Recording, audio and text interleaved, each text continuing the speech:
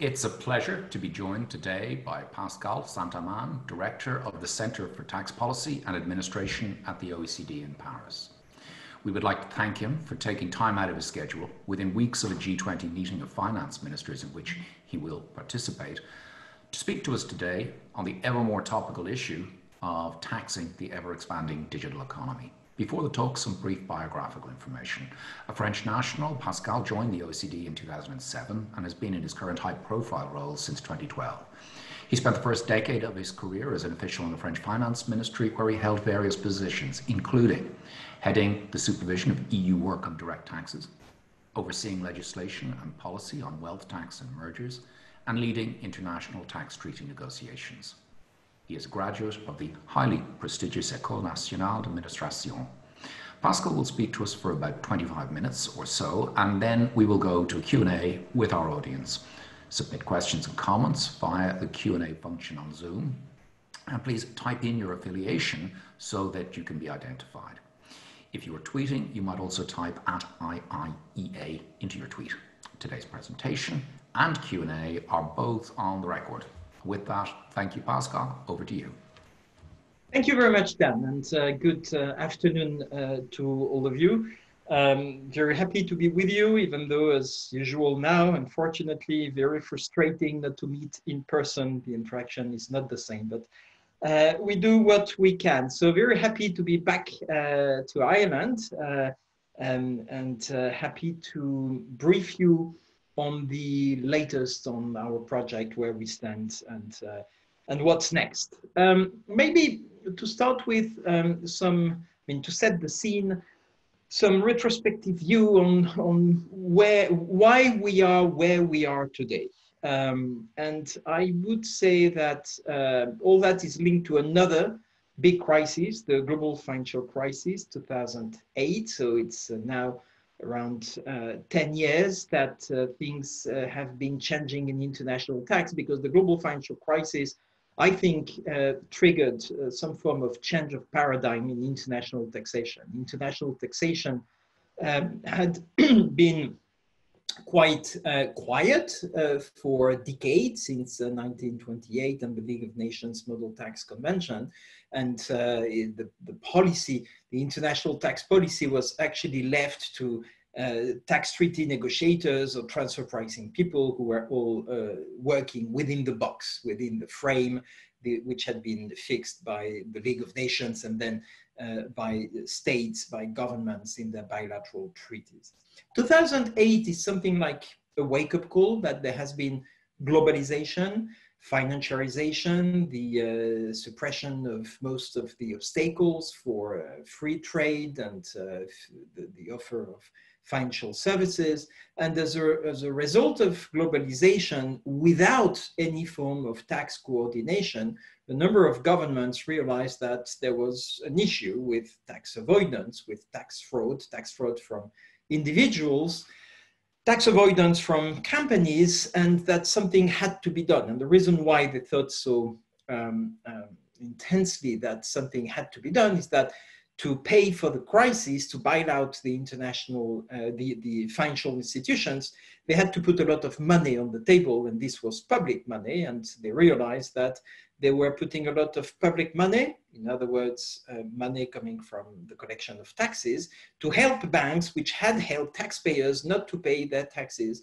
because of offering uh, bank secrecy. So you, you, you had this, this moment of, of awareness, of, of um, wake, waking up, kind of, uh, and the G20 which has been established precisely to manage all that, telling the OECD Act. We did the first phase, which was attacking bank secrecy, fiduciary secrecy, making sure that there would be tax coordination. The second phase started in 2012 with what we have called the BEPS project in Ireland.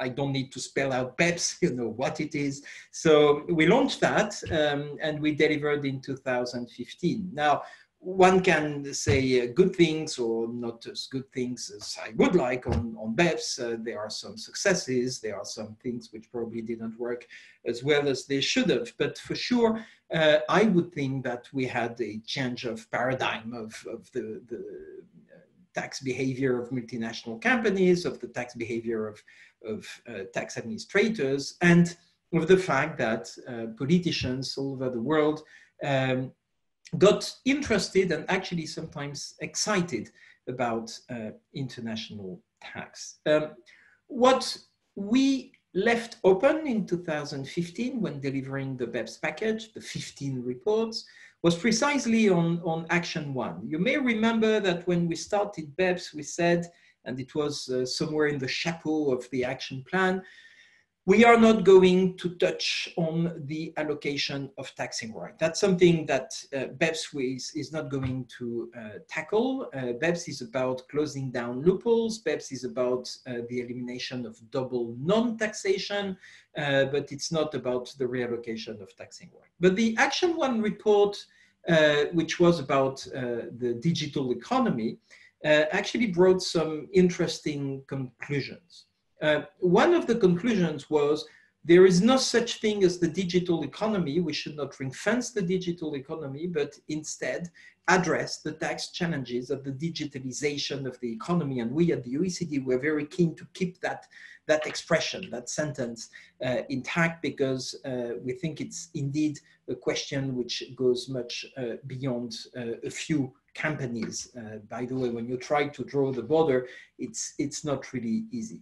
The um, second uh, main conclusion uh, that few people actually saw was about the fact that um, the challenges of the digitalization of the economy were more related to a question of taxing right allocation rather than a BEPS type of measure. So we said at the end um, of the Action 1 report, one, we cannot ring fenced. Two, BEPS is going to address part of it. You may remember, especially in Ireland, that a number of these tech companies, very successful, very large um, uh, companies, were able to benefit something like double exemption, uh, Ireland is well known for offering uh, some menus or some sandwiches on the menu of the tax offer. So uh, you, you, you had BEPS obviously used by these companies with 2 trillion US dollars of accumulated profit of US companies in Bermuda, most of them being channeled through Ireland or through Luxembourg or through the Netherlands. So the, the, the, the, the first immediate conclusion of the BEPS action plan uh, one was uh, let's wait and see what uh, the implementation of the BEPS measures uh, will, will, will do. but you also had this point to say, but there is an issue, and this issue is about nexus and profit allocation.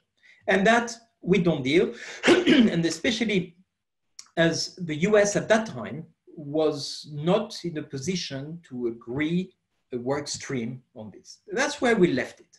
Then we established the inclusive framework for BEPS implementation. We had some uh, institutional work to do to make sure that we would have inclusivity, that we would have a process of implementing the BEPS measures, negotiating the multilateral convention, um, uh, the, the so-called multilateral instrument, the MLI. So many things going on, but the frustration of many countries, not all, but many, I would say most countries, about uh, taxing digital activities was growing. Um, so much as uh, the German finance minister, Mr. Schäuble, when he took over the G20 presidency from China in 2017, he said, and that was the meeting of the finance ministers in Baden-Baden in February, we need to do something, let's mandate the OECD to produce another report. We cannot wait till 2020. So we started another report. And what was quite uh, surprising, um, unexpected, let's say, was the fact that uh, while the US new administration, the Trump administration, was negotiating the US tax reform with Congress, we could see an opening from the US. I wouldn't have bet much on an opening from the US under a Trump administration, which is not necessarily a great supporter of multilateralism, uh, that we, we, we would have an opening and we actually got the opening, which was to work on a um, solution. This is what we started in 2018. We issued a report and following exchanges because um, many countries, I mean, you had different buckets of countries. You had one, one, one set of countries saying there is an issue, we need to address it, but it cannot be ring fenced to the digital economy. It's about nexus, but more fundamentally, it's about a profit uh, allocation um, uh, issue that we need um, to work out. And, and, and let's do that. And I think we could put in that category China or, or the US, or the US leading and, and China being, being aligned. We had a second bucket of, of countries saying, well, actually, it's a, it's a digital issue. It's nothing else but a digital issue. And as a result, uh, we want a digital solution, solution focused on digital. And third bucket of countries, um, which largely included countries which until then thought there was no issue and no need to discuss anything, joined a slightly different position to say we may recognize that there is uh, an issue, but but but there is no urgency, and and and we're not necessarily keen on addressing it. Um, I would put Ireland definitely in that in that category. Throughout 2018 and 2019, we worked this out uh, in the G7, in the G20, in the inclusive framework um, uh, at the OECD, including 137 countries on an equal footing through the task force on the digital economy, the different working parties. And out of that emerged the idea early in 2019 that we should have what we've called a two pillar approach. One pillar being revisiting nexus and profit allocation and one pillar being uh, establishing a global minimum tax to put a floor, at least to the race to the bottom, to limit uh, tax competition to a threshold which would be globally agreed. This idea being uh, derived from the US tax reform and in particular the uh, GILTI, Global um, um, Intangible Low Income Tax. This idea of a two-pillar approach was agreed without prejudice, because that meant the negotiation was going on, and that there was something like a package, some countries being more interested in pillar two, some countries being more interested in pillar one, and all agreeing that we should advance this uh, agenda together. Through thousand, uh, through, uh, throughout 2019, uh, work um, uh, advanced, but we were stuck on pillar one with this divide between basically the US, China, saying it cannot be ring fenced, uh, plus some other countries. The third bucket I mentioned too tended to join that view.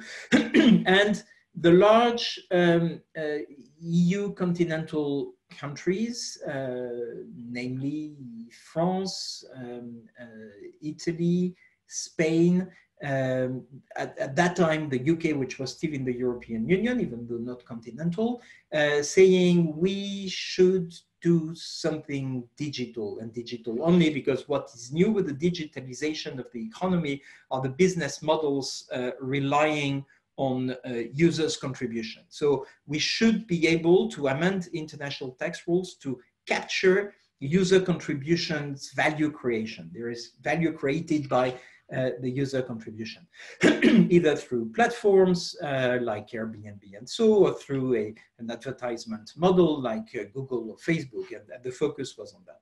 And, and 2019 was, was a debate between uh, these two categories of countries, and, and, and, and we, we, we, we couldn't unlock the negotiation. That's why the OECD Secretariat propose, and that's not that usual, to try to come up with a compromise uh, proposal, uh, which we call the unified approach, unifying the different views expressed on Pillar 1, and in particular on the scope of Pillar 1. And you may have seen that the unified approach proposes a three-tier um, uh, architecture, uh, first tier being for the companies dealing with uh, digital activities but also for consumer facing businesses, which reflected the views expressed by the US of, of a marketing intangible approach. So we said for that scope, we should have an allocation of the uh, residual profit to be defined, let's say above 10% of, of, of, the return,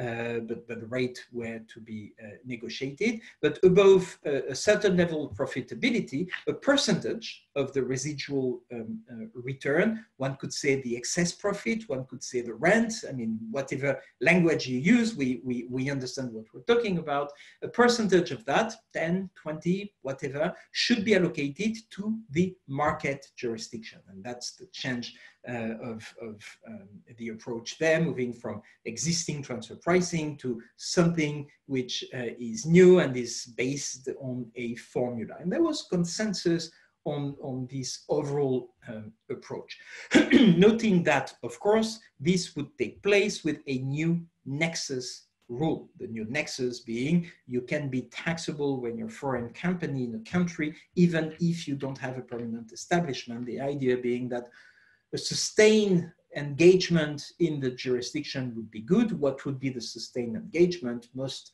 countries thought that a person, I mean, a, a, a certain level of turnover could characterize uh, a new nexus. And some countries said we would need additional factor, but the conversation was there. We also proposed a um, second layer, which was a fixed return for um, uh, routine distribution activities. And that was mainly for the benefits of developing countries and for the benefits of tax certainty. And the third layer, which was about tax certainty, to say if we have a new reallocation of taxing rights to the market jurisdiction, the market jurisdiction should provide for better uh, tax certainty. Tax certainty which could be improved by agreeing as early as possible the amount A, the first layer, but tax certainty being also in case of a dispute to have something binding, compulsory, unlike mutual agreement procedure, which as you know, are just about countries endeavoring to eliminate double taxation. We tabled that. We had, I think, pretty good uh, reception uh, by most countries, but uh, the US uh, Secretary uh, for Treasury um, expressed um, the idea that uh, this was fine, but going to Congress to move away from the arm's length principle, moving away from the current definition of the permanent establishment would prove too much of a challenge. And he said, we should move towards this approach, but on a safe harbor approach. And he further clarified that safe harbor meant that companies would decide whether they would be in the scope or not of this new approach. And, and, and in what he explained to uh, other countries, uh, he said, well, we may have the existing system, uh, but companies would be pushed towards the new system to the extent that the new system will provide more certainty. So the certainty may be a good incentive for companies to go. So it's not,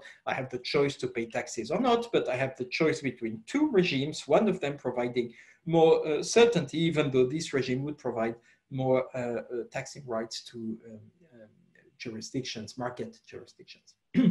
this, to say the least, was not very much welcomed by US partners.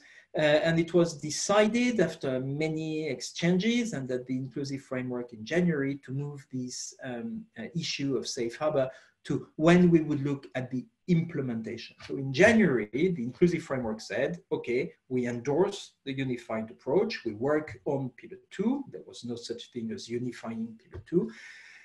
And we are going to develop all that technically with a program of work that everybody thought would uh, not be developed on time because it's quite a challenge to write new rules which are completely, I mean, outside uh, the box. We were there in the spring where COVID uh, knocked the door and uh, obliged us to confine, to speak via Zoom and other means, and not to be able to meet, which clearly uh, is a hurdle. Uh, negotiating uh, through Zoom is not easy. Working with the team, working within the secretariat is fine. We know each other, we know how to work together Negotiating is something else because you need to give something up in exchange of something else, but, but you cannot do that in a plenary. Usually you do that in the lobby. You do that in the, in the, at the dinner before the negotiation or at the breakfast or at a coffee break. And uh, what I like saying is Zoom is fantastic, but they don't provide uh, the coffee. And, and without uh, the coffee break, you cannot really advance the negotiation. So we've been delayed. And instead of delivering in July, we said we would deliver in October. Here we are. We are two weeks, three weeks before the uh, G20 finance ministers meeting uh, on the 14th of October. What have we done? We have developed what we have called blueprints, and the G20 finance ministers expressed um, support to uh, uh, this uh, idea of providing them with blueprints at their October meeting. This uh, G20 statement was issued in July, a virtual meeting of the G20. So um, we have developed a blueprint for Pillar 1 and a blueprint for Pillar 2. Now, the blueprints are technical pieces of work. They are technical to the extent that we've explored how you would uh, determine the residual profit.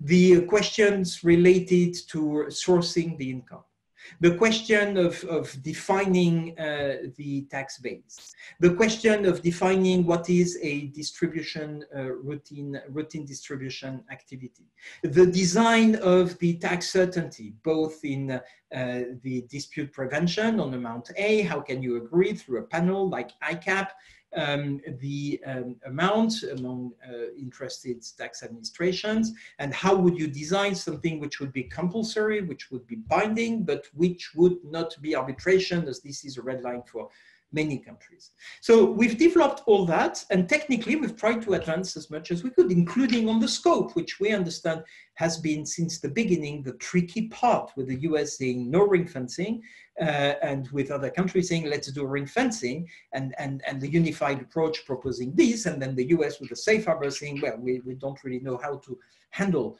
uh, this unless we let companies to design. So we, we've tried to see what uh, ADS, uh, automatic digital services, uh, could be uh, defined.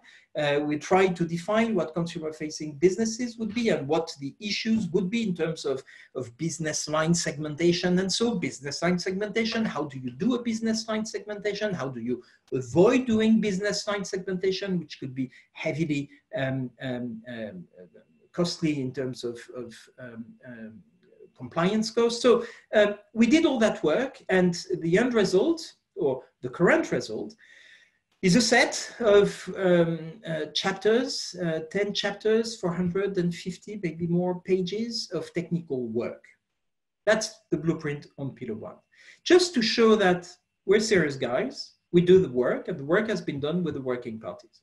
Now, the, the, the, the, the downsides of this blueprint uh, is that some of the key political decisions, the key political parameters, what will at the end be the scope like? Um, what are the quanta? By quanta, I mean, uh, how do you define the residual profit? How much of the residual profit would you allocate to the market uh, jurisdictions? Uh, the level and the extent of tax certainty. All these questions are bundled, they're linked, and countries would not disclose their position. If I'm India, I will not say I'm ready to take this or that type of tax certainty if I don't know what the nexus rule will be and if I don't know what the amount will be transferred to India. So you can see that, that you have something like a blockage in terms of disclosing all the elements so that you you conclude the negotiation. And that's a bit where we are. In other words, we have something which is almost ready for use, except that some of the key parameters need to be solved. And we heard in June from the US that the US, because of the proximity of the US election, would not be keen on reaching an agreement on the 14th of October when you have a US election um, a couple of weeks later. So the US clearly said, we are interested. We are not pulling out of the negotiation, unlike what the FT reported more than once. That was not correct, um, fake news, I would say. they didn't pull out of the negotiation, but they said, mm, we, we don't necessarily want an agreement. Now, even though in July at the G20 finance ministers meeting, they let the door open, and even in the letter, which is not a public letter from Minister uh, Secretary Mnuchin, uh, it doesn't exclude an agreement by year. So there is clearly a level of uncertainty uh, there. And that's why today I would struggle to tell you what kind of agreement we'll reach on the 14th of October because ministers are now talking to each other. As regards Pillar 2, things were slightly easier to the extent that there was no unified approach. We just had to develop these technically and wow, it's a challenge. It's extremely difficult. It's very complex, um, like Pillar 1. And we've advanced a blueprint with the same idea that technically, if we had to do a pillar two, if we had to design a global minimum tax with an income inclusion rule, with an under tax payment rule, with blending, with carve out, with all the elements, including uh, the possibility of switchover rules and subject to tax rules, what should they look like from a technical perspective? And technical group have come up, uh, the technical groups have come up with uh, the design of what uh, pillar two could be. We today have two blueprints which have been sent to the inclusive framework, which will be meeting on the 8th and 9th of October. Um, and these will be reported to the G20. I can tell you right now that we'll go public. I mean, we will go public, no, not you, uh, the people who had leaked and, and who tried to make it public uh, we, we will go public with all the inputs from all the members of the inclusive framework, and we've already incorporated the first set of comments from the full inclusive framework members, and now we are moving to a second round of comments on both pillars. Uh, we are going to uh, present these publicly on the 12th of October, uh, and this will be discussed the G, by the G20 finance ministers on the 14th of October. What's next? Depends. It depends on the level of agreement. It depends on the political dynamic. You have some countries very much interested in Pillar 2. Germany is one of them. You have the US supporting Pillar 2. You have some countries, Ireland, uh, I think it would be no surprise to say that I would anticipate that Pillar 1 you don't necessarily like much, but you can cope with, while Pillar 2 you don't like, full stop. So how, how will the political dynamic in Europe and elsewhere articulate to be seen. But what I could expect is one, that's easy, it's almost decided. We will go for public consultation on the two blueprints um, in October. Uh, the level of consultation may not be the same, depending on the level of agreement on both, but it was already decided that we would go on pillar two for public consultation on the simplification and administration measures. On pillar one, there are many technical aspects which definitely will gain from public input. Um, so that's something we'll do probably till the end of the year. Second, and as is the case on many of the fronts, we will be waiting for the US election.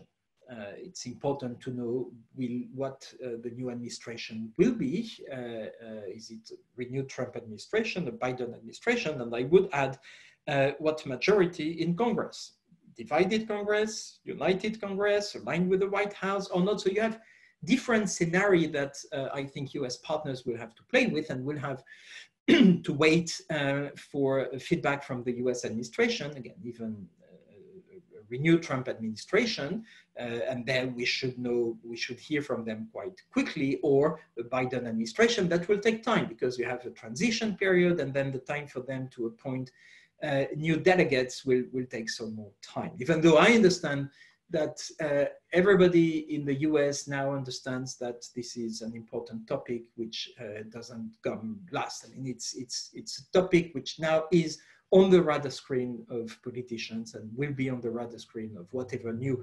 administration uh, we have in the US. Beyond that, um, you may have seen the European Union uh, speaking about that. There was an informal ECOFIN, and I know finance ministers talked about that, uh, with a question of the OECD may fail to deliver a full, full-fledged response to uh, uh the issue by the end of the year. Uh, but again, the circumstances which I have described may explain that, COVID, proximity of the US election. What do they do? Uh, they said, and that was the mission statement of Madame von der Leyen, the president of the EU Commission, we, we are going to act if the OECD fails. Now, the circumstances are slightly different, but she said in her State of the Union address a few days ago, we may propose something early in the year. I think Mr. Gentiloni publicly said yesterday or, or on Friday that the EU will, will act, but, but giving some time at the OECD to, to resume the negotiation and, and show what's happening uh, there. So you can see that, that there is a dynamic in, in Europe, uh, there is a dynamic in the, in the US. Uh, we for sure at the OECD, we think that we now have a very solid basis for finalizing the negotiation when we have leadership, when we have leadership from the US on the digital topic, when we have leadership from European countries, or at least those which sponsor the uh, global minimum tax, uh, when they act together, which I think they are currently uh, doing, we'll see what uh, the um, um, future will look like in terms of pillar one, in terms of pillar two, and in terms of the link between pillar one and pillar two, which so far have been a package, politically, a package, while technically, into policy-wise, it's not a package. I mean, you have pillar one, you have pillar two, and, and, and they're not really linked. They're linked politically because uh, different governments made that link. That's where we are. So you know almost as much as I do, and uh, I will be happy to take questions. Good. Thank you very much. I think that brought us all uh, very much up to speed with how things are going. Could I start off by asking um, about the earlier evolution of uh, the, the multi, multilateralization of this? You, you, mentioned that up until between 1928 and 2008, uh, bilateralism dominated the dealing, the dealing countries dealing with this, and then it moved into a, a multilateral framework. At a time when we talk so much about the decline of multilateralism, do you think that your work and the, the countries involved with you around the world, this is actually goes contrary to that claim that in fact multilateralism is alive and well? You're muted. Thank yeah, uh, that's a good question. And I would think that tax, I mean, you have something like a tax paradox. The global financial crisis, I think, started that process of financial crisis, followed by a fiscal crisis, followed by a social crisis, followed by a political crisis. And, and you can see that in so many countries. And the, and the political crisis, which, which follows all, all that cycle, is largely about bringing nationalistic uh, parties to the, to the power, to the governments, or, or not far, including in the, in the different, uh, among the people, uh, this, this feeling of, of we need to fight back globalization and so is, is largely shared. Ireland probably being an exception there because you've so much benefited from globalization. Um, but in continental Europe, uh, you can see it in the UK. I mean, I think we can see it uh, more clearly than everywhere, anywhere else. So you, you have that cycle. And the tax paradox, I think, is that tax is at the core of sovereignty.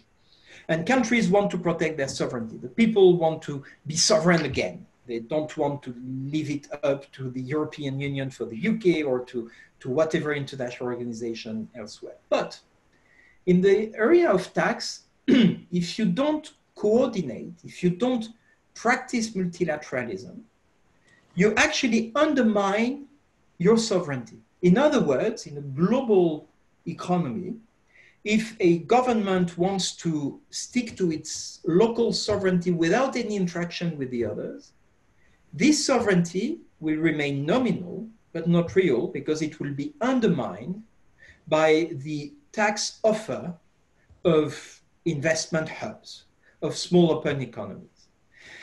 And large countries, and I would recognize that it's partly a large versus small country debate, the large countries understood that it was their interest to cooperate, to have multilateralism, to protect their own sovereignty. So, in a sense, and that's the paradox, multilateralism supports the um, uh, strengthening of tax sovereignties.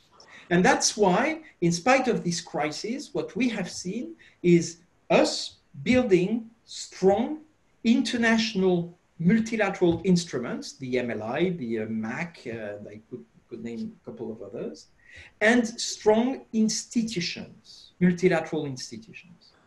The Global Forum on Transparency, 167 members. The Inclusive Framework, 137 members. And not to do a talk show, to do peer reviews. And peer review is something, a peer review is something a bit intrusive because you have peers looking at your system and evaluating you against a standard. But this has worked. Now we are reaching, or we have reached, the peak of, of I mean, the peak, we'll see what future looks like, but, but I think we can say that we've reached a level of, of, of pretty strong feeling against multilateralism. And in spite of that, the US has not pulled out of our negotiation and countries are engaged.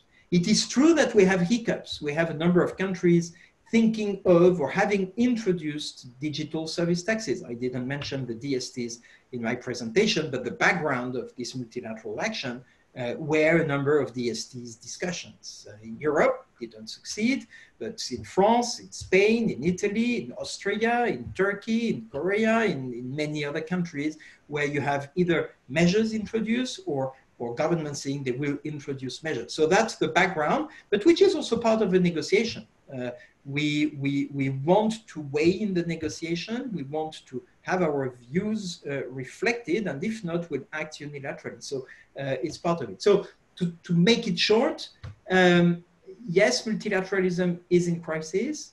Yes, it does translate with some forms of hiccups in, in our negotiation, but fundamentally, we have built something strong, which I think is strong enough to resist this crisis of multilateralism. And, and the real basis for this is that protecting tax sovereignties requires some form of tax coordination.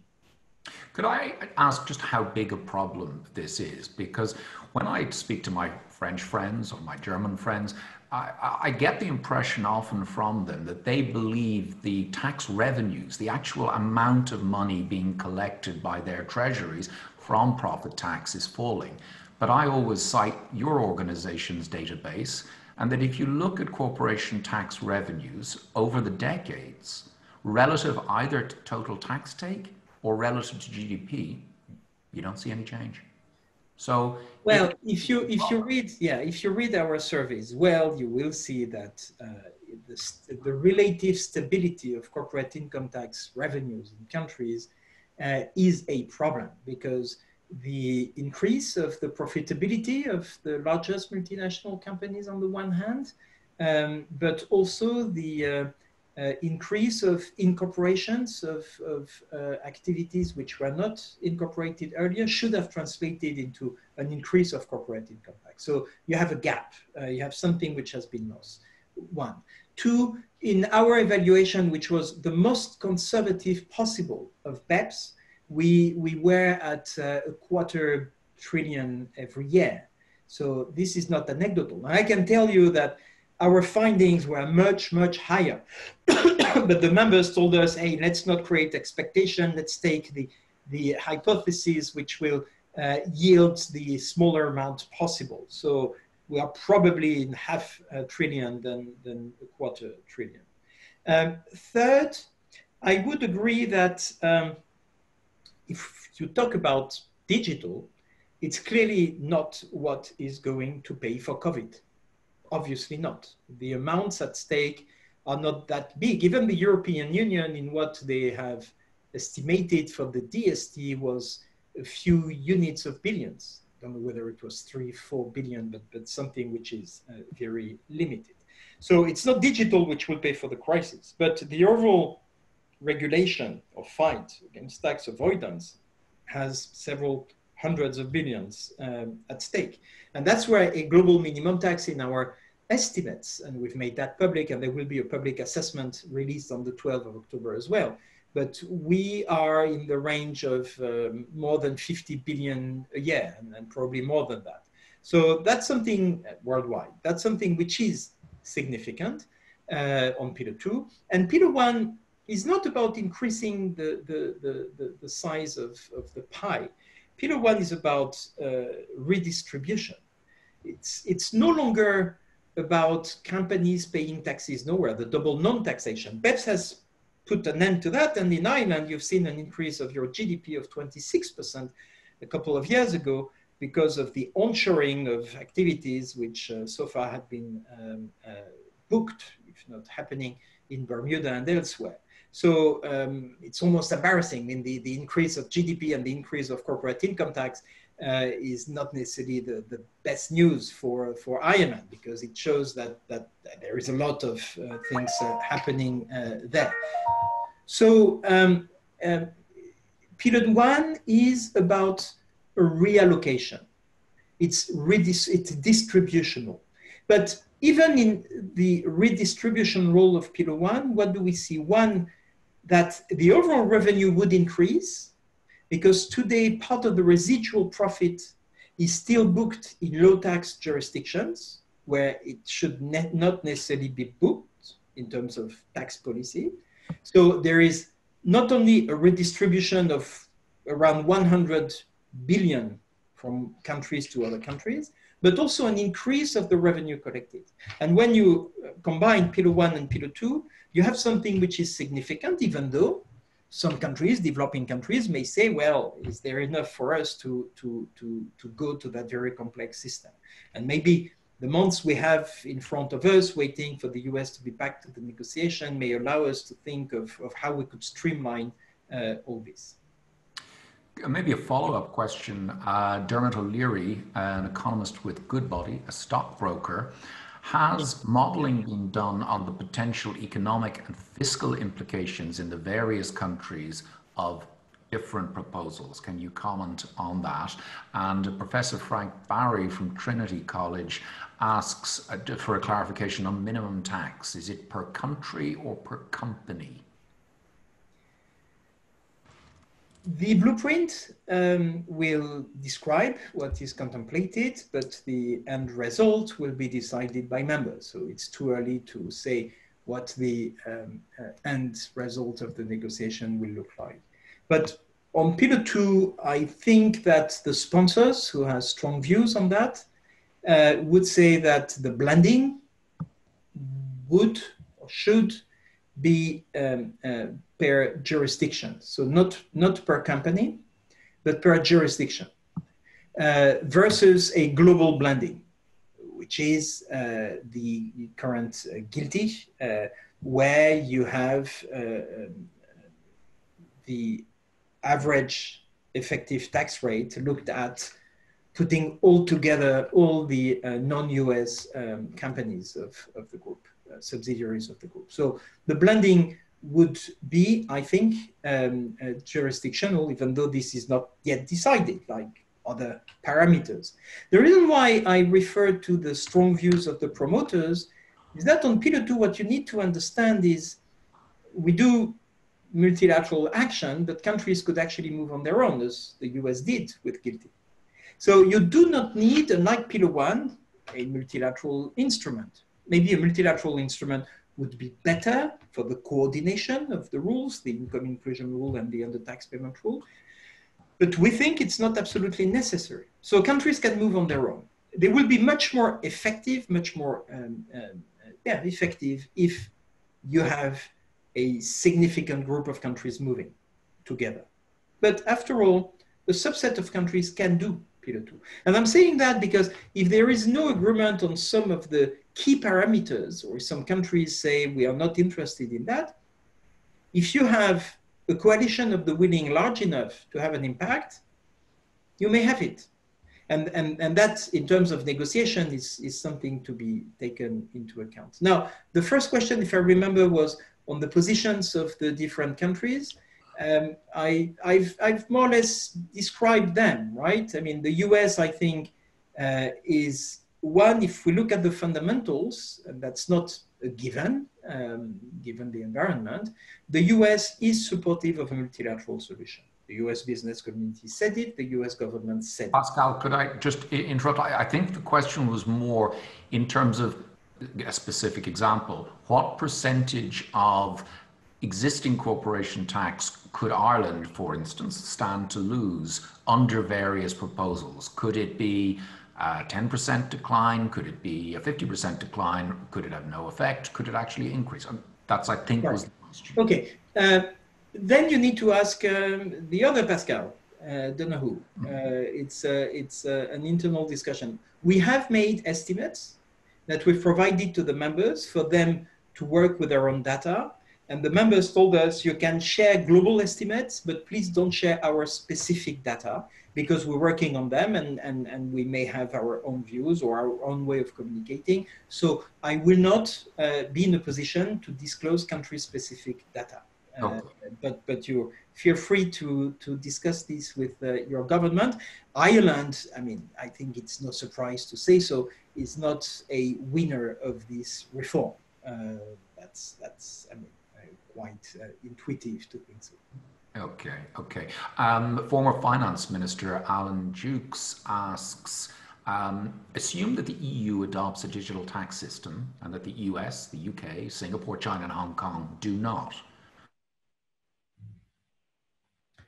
I'd, How will it affect the EU's competitiveness? And also a question, just a very small more statement. Farchi Akbar joins us from Indonesia. I think the first time we've had somebody join us from, from that country. Um, asks, poses the point, do countries have the right not to tax digital co companies?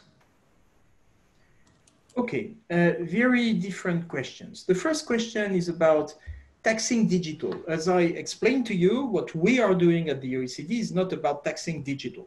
It's about renovating the international system so that we can address the tax challenges of the digitalization of the economy. And if there is an agreement, which I hope and um, uh, think will happen, uh, we will allow countries to levy corporate income tax on these activities. So there is no such thing as taxing digital. When, when, when one talks about taxing digital is by default, in case the OECD fails, you may have digital service taxes, as you have in France, in Italy, in Spain, uh, in the UK, going through uh, Parliament. Uh, and, and if you have a DST, you indeed have a specific dedicated taxation of gross income through a tax on turnover, right? Now, if the question is, if some countries move and if the European Union establishes a DST, is there a risk of leakage of activities outside the EU? Well, if you do a DST, I'm not sure, because a DST is based on turnover, and you will always have clients, uh, whether it's taxed or not. The question is the incidence. Who is going to bear the tax burden? And you will have seen that Amazon recently, I think, said in the UK that uh, the tax will be passed on to the to the to the consumers. Uh, and uh, also Google and Facebook increased the uh, um, um, price of advertisement to incorporate the DST in, in the price the invoice. So um, I think the question is not that much Europe losing competitiveness because that's that's not the point there. The point is more whether these taxes are good taxes or not. And I think there is consensus. These are not good taxes. But the real question, and that's something Ireland, I think, needs to understand. You're very good at understanding DSTs are bad. But what you need to understand is what's, what's the alternative? The alternative is a global solution. Great. But if the global solution doesn't come, what do you do? I mean, what's the signal of, of Europe to the rest of the world? We, we, we, we can see uh, massive activities deployed on our territories. The rules, everybody agrees, should be changed because there should be a new nexus and there should be new profit allocation rules, but nothing changes. So there is something wrong. There is something broken. How do you fix it? And, and, and in the fixing of it, you need to have a conversation between Europe and, and uh, other, other countries, including the US or China or emerging economies. So I think that's, that's the uh, real issue. Sorry, the second question from Indonesia, if you don't mind. Should countries have the right not to tax digital companies if they choose to? I'm not sure I understand the question. I'm not sure what it means not to tax. It means that you exempt companies. For the time being, you don't tax because you cannot tax companies because of the uh, taxing rights you get from treaties, or you don't get. You don't get the right to tax a company which has no permanent establishment on your territory. So you may be happy with the current situation. In that case, you wait. But if rules change, they will change globally, and it would be quite surprising that you would refuse to tax when you have a jurisdiction to tax. Now, uh, uh if you have a jurisdiction to tax, you could exempt the tech companies, but I think this would be distortive. That would not be fair competition.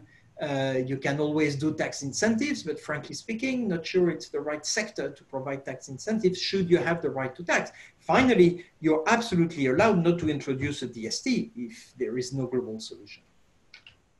My colleague, uh, Dara Moriarty, wonders if the recent appointment of an Irish person to the head of the Eurogroup and another Irish person to the financial services job at the European Commission, whether those appointments could impact the European position, the EU position on um, in the talks. I work at the OECD, not at the European Union, so I'm not the best place to respond to that question. But uh, I would just like to congratulate uh, both of them, and in particular Pascal Donohoe, who's done a fantastic job as finance minister and who's regularly in contact with the OECD, with my Secretary General, with myself. He follows all that very closely. Now, what will be the impact of him being the chair of the Eurogroup on all this?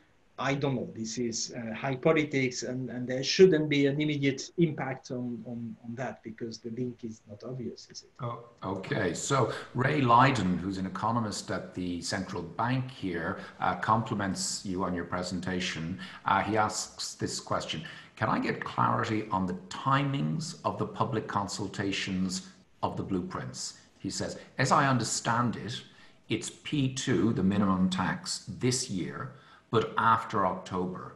And P1 depends on the US administration, but it is likely sometime in early 2021.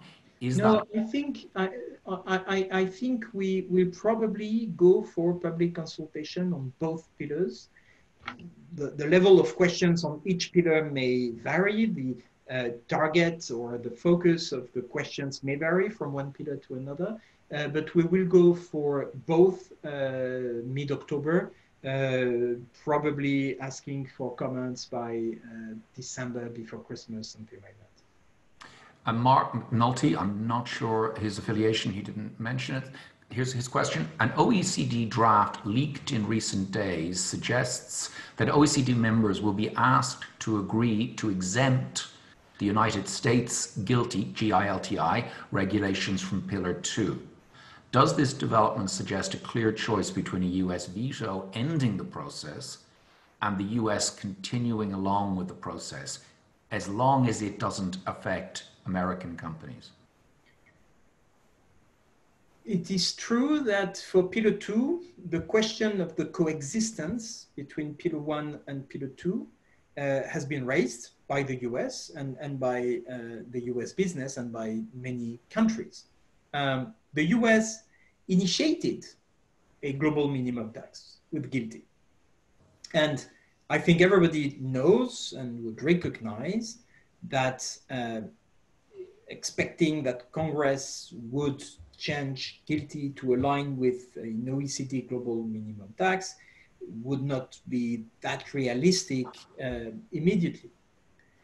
Finally, uh, when you look at GILTI, the rate may look low, with 10%, with an increase of to 16%. I never know when, I think it's 25, 26, 19, uh, 2025 or 26.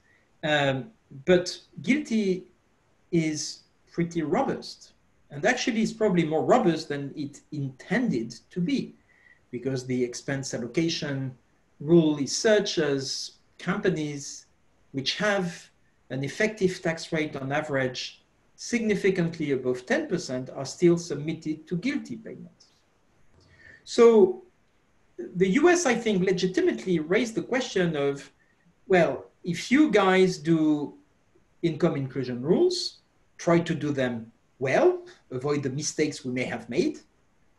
And that impacted the design of the income inclusion rule. But they also said, well, the profits which will be subject to GILTI should they be exposed to under tax payment rules.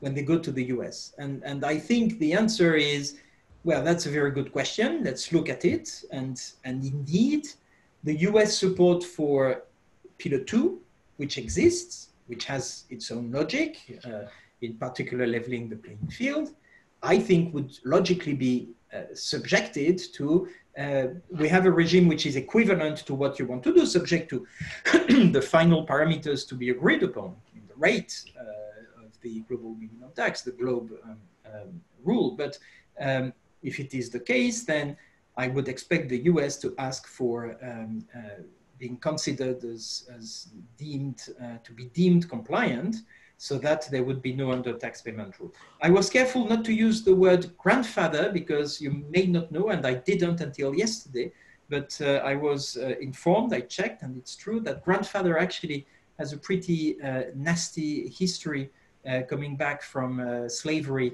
Uh, it was a way to deprive black people in the southern states of the US of their right to vote uh, because of a grandfathering. If their grandfathers were not uh, free citizens, then the grandkids couldn't vote. So we'll try to avoid using grandfathering, even though we all know that uh, it has a special uh, meaning, but uh, so that's why I use deemed compliant or, or, or coexisting, but, but uh, that's the idea.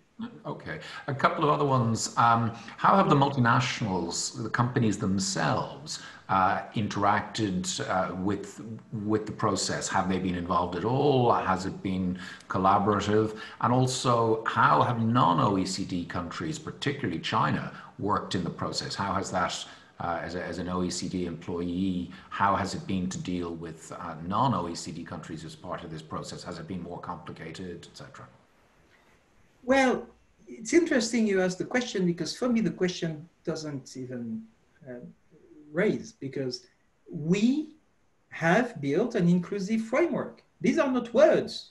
These are institutions. These are realities. I don't have 37 members. I have 137 members on an equal footing. China is a member. Ireland is a member. You're the same, equal footing.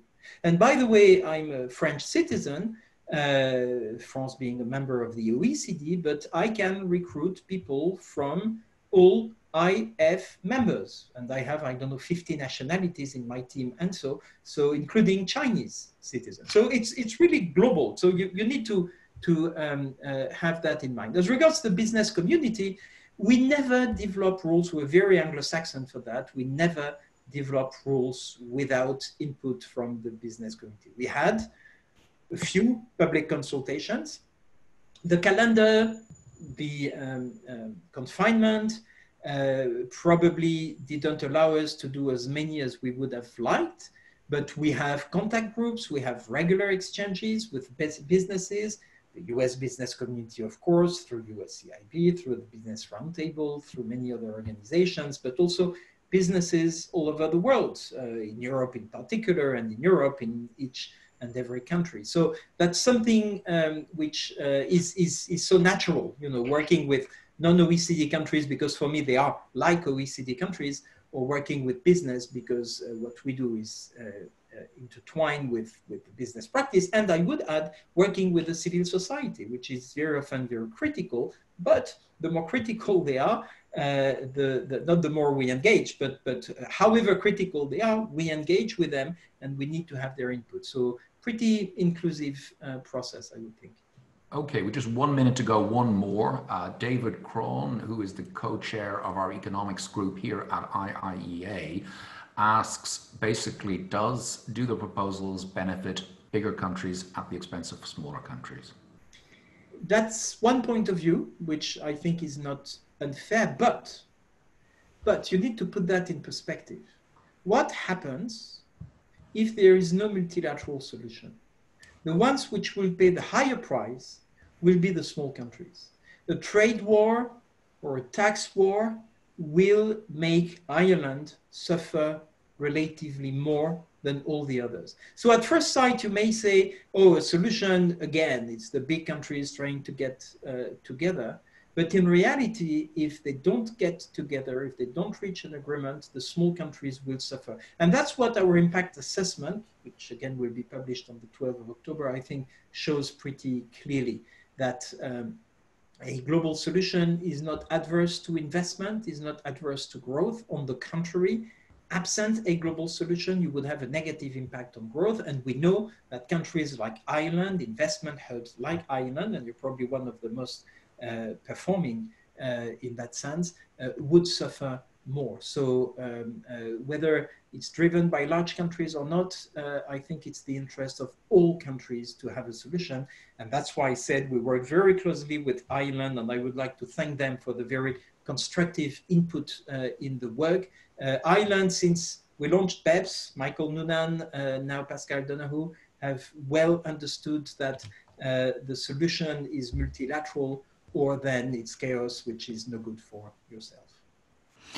Pascal, thank you so much for joining us. I think we got a, a huge amount of information uh, brought. We all came up to speed on many of the issues there, and um, thank you for, for joining us. And uh, good luck with uh, with the, the, the talks and negotiations over the coming months. Thanks. Thank you so much. Good afternoon. Thank you very much.